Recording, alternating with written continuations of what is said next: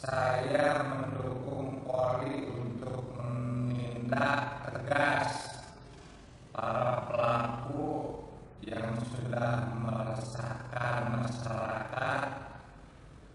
Kami Indonesia kami telah kuat NKRI harga mati.